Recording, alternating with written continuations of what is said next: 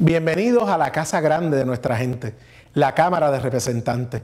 Hoy recibiendo el primer mensaje de presupuesto y de Estado del gobernador de todos los puertorriqueños, Alejandro García Padilla, cumpliendo nuestra responsabilidad de llevar a cabo un plan de gobierno a beneficio de todos los puertorriqueños, trabajo, desarrollo económico, seguridad. También te invito a que visites el segundo piso del Capitolio para que veas la exhibición de don Ernesto Ramos Antonini, 50 años de un legado que vive. Bienvenido a tu casa.